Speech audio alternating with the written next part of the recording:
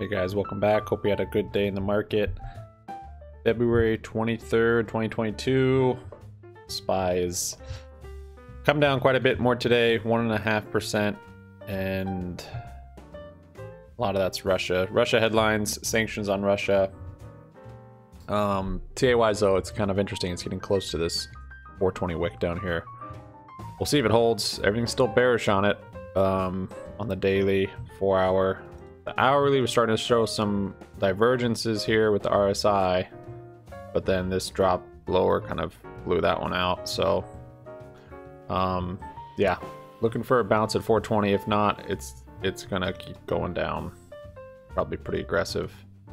Uh, got gaps to fill down here. Maybe slow down around 400. Find support there. Uh, and then yeah, could be a could be a long ways down SPY. Kind of kind of uh, anticipating this for a year, and now it's finally seeming to happen. Um, got out of this range we were trading in, and we'll see. Next few days will be interesting. I am expecting probably a bounce. Uh, really depends on just news with Russia. Uh, if they invade, if they invade, it, it might be bad for a couple days, and then a bounce actually. Um, but yeah, GameStop kind of just getting dragged down with it. Uh, it's it's performed actually quite well considering how bad the rest of the market is. Um, if you think about it, it's only down 2.3%. You know, some of these days back here, pretty recently, we've had, you know, 7, 8, 10% days down. And the market wasn't doing all that bad on those days. Let's see, 127. That was kind of a down day. But yeah, today's a, today's a big day on SPY. Big range because it started up gapped up uh, pre-market and then big range down. Um, GameStop still bullish on the daily though, bearish on four hour and shorter time frames. Um, the fact that we didn't hold that support, eh, maybe could come down a little more. Just looking at TA, that said, if they start covering because of options exposure or whatever, all the bearish indicators will flip bullish in a hurry. There won't be uh, won't be much time on that. Today we've got about 45 minutes left. Um, and honestly, we could see action, I think, till still today, till the, till the bell and even in the after hours. Probably not expecting after hours moves, but you never know. Um, I picked quite a day to get alone and go into GME. So I was actually shorting puts with it, closed those out and got shares. Um, and again, just going to roll covered calls up with shares for a couple reasons. One is your returns are are better. Um, it's not as safe, but you you do get better returns. It seems as well as with short puts. Say if I'm shorting a put at 115 and the stock goes to 160, and I'm like, okay, great, I'll roll it. I can't short puts at 115 for the same premium once it's at 160. So to keep that 35 delta or whatever delta I want to short the put at, it has to be higher strike, and higher strike costs more uh, more margin because I'm agreeing to buy the shares of that strike. With calls, covered calls and owning shares, I, I buy the shares here and I do covered calls on the way up, and my cost based on my shares never has to rise.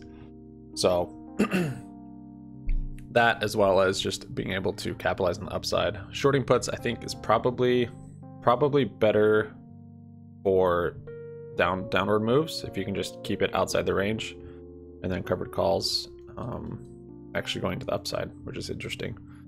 But yep, this this week it could it could still be big. I know today was kind of demoralizing. A lot of a lot of expectations for price action. Um, Ryan Cohen did tweet green shorts last night. I, I didn't even pay attention, didn't it till this morning, but um, I don't I don't quite know why they picked green shorts. I think on Android it wasn't green, they were orange. But uh some of the speculation is what shorts are dead if you do the emojis backwards because today's shorts, the last emoji before that was pirate flag, which would be R, and then the one before that was uh, the skull, kind of the dead, dead emoji. Shorts are dead. Uh, shorts are green though, so shorts are doing or making money. They're in the green.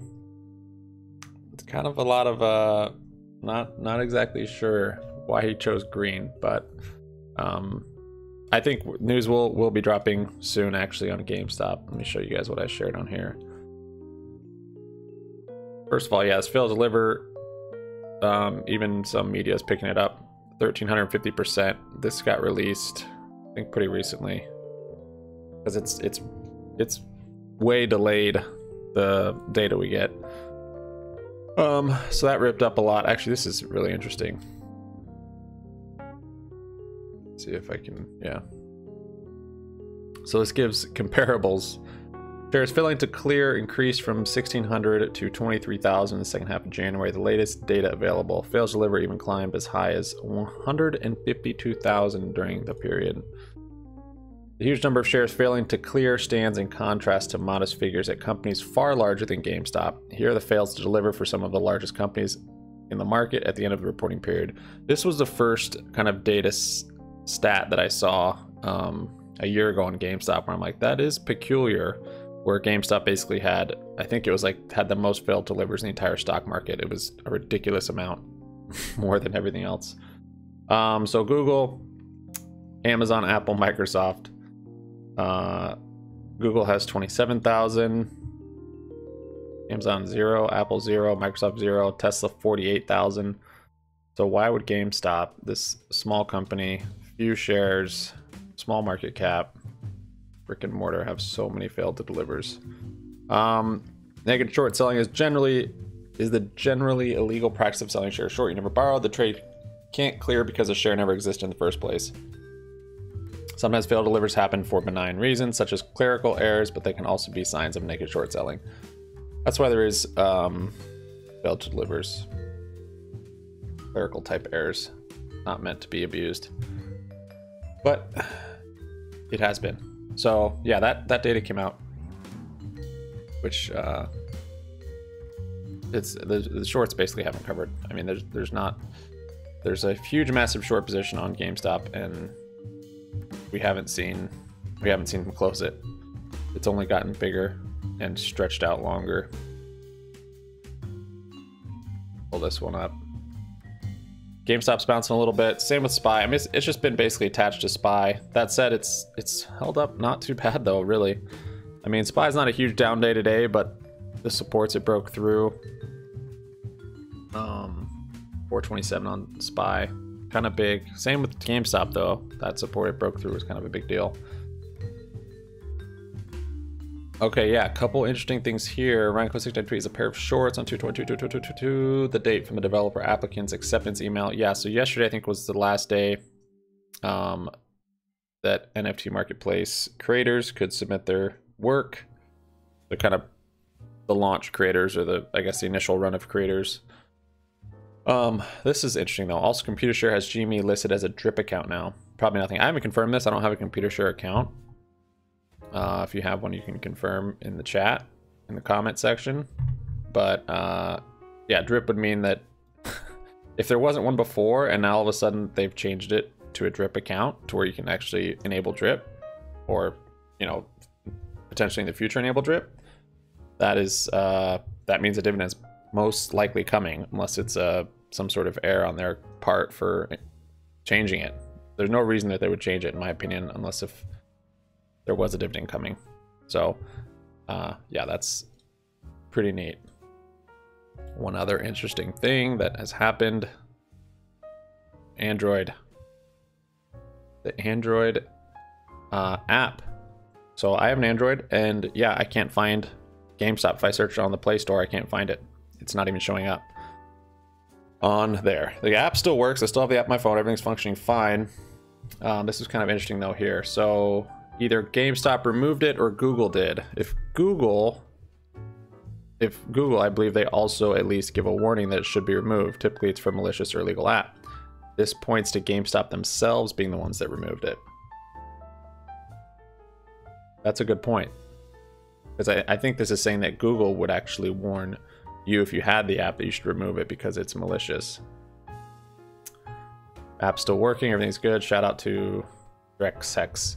So yeah, potentially a new app is coming out. It's gonna have this NFT marketplace or something. I don't know. That for them to remove it from the Play Store is a big deal. I mean, they're getting tons of downloads every day. They're, they don't want to just have it off the App Store for any period of time. So something big, I, I think, is coming, and very very soon. Um, I can't see them having it down more than at least a, may, maybe a day or two. I wouldn't imagine it down more than a day, honestly. I'm gonna check real quick right now just to see it's back up. No, so when I search GameStop, it's GameStop Conference. It's a whole other, a totally different app. GameStop's not even on here. So, very cool stuff.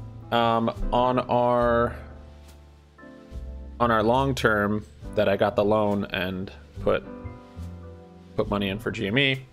So I sold, I closed, or I bought to close my short puts and just bought shares of GME today, down three percent on them. Um, I'm gonna wait a little bit before I start selling covered calls, and I'll probably be selling the 35 Delta, which should get me pretty good returns. Annualized, I think it was like, well, it depends on how far back you date it, but um, I think it was like 150% or 200%. You give it a year time frame, back testing, it's 213%. That's weekly covered calls with the 35 Delta, um, rolling weekly. So we'll see. That's that account, and then didn't do a whole lot. Messed with some spy options today. Almost did well. Actually, I went in pretty heavy right here. Um, where I was up like two or three hundred on calls, and then it just dumped. I think someone was talking.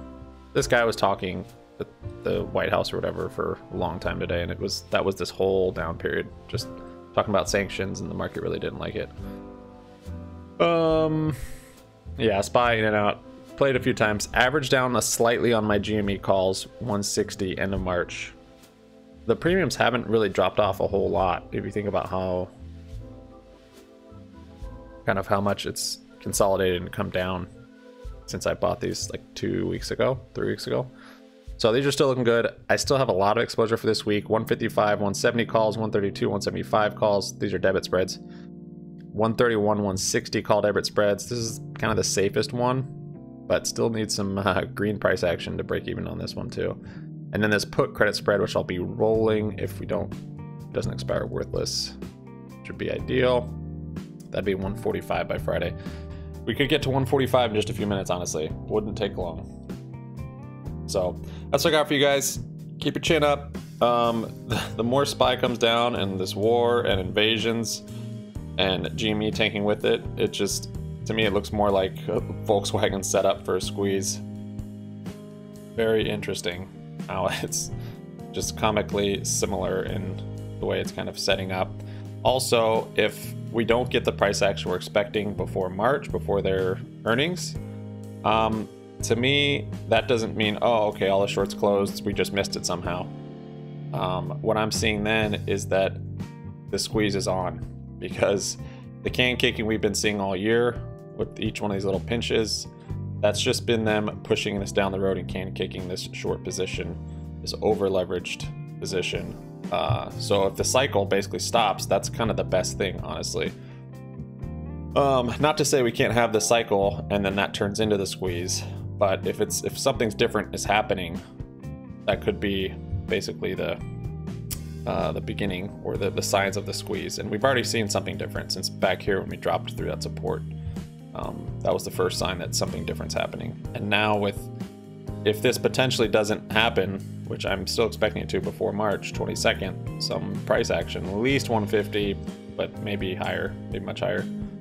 If that doesn't happen, then I will have to assume um, that yeah, they are they're posturing to just close. And how are they gonna do that? I don't know. I don't know if we'll keep trying to drop it down or, or what exactly, but along with that, we have this bullish news coming out, and they probably know that too. So they're getting prepared for that, whether it's either closing or can kicking. Um, I'm down either way. Thanks, guys, for watching. We'll see you on Discord. Have a good afternoon. Peace out.